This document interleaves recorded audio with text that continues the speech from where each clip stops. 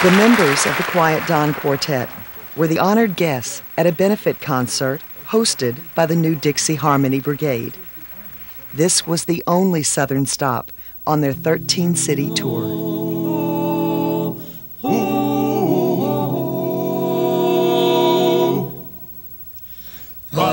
boy, the. Red 29, boy, you can give me a shine. Yes, you can give me a shine. I can afford to the Chattanooga choo-choo.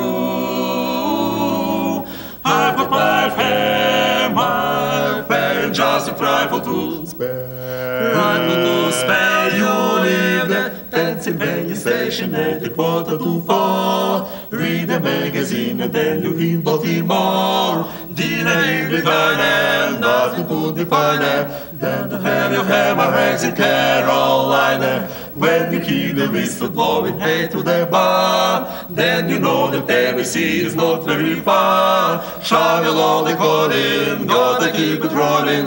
Whoa, whoa, whoa, Chattanooga, there you are. They're like us. They like to sing. Um, they like to visit. Um, they enjoy the companionship and the fellowship.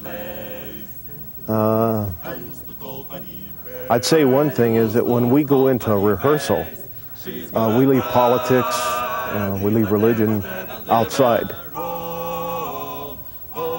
We enjoy singing.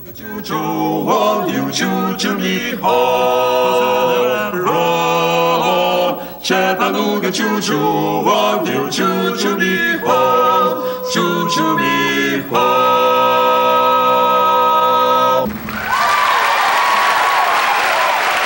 Proceeds from the concert went to Carolina Sunshine for Children, a program designed to grant a wish to a child with a life threatening illness.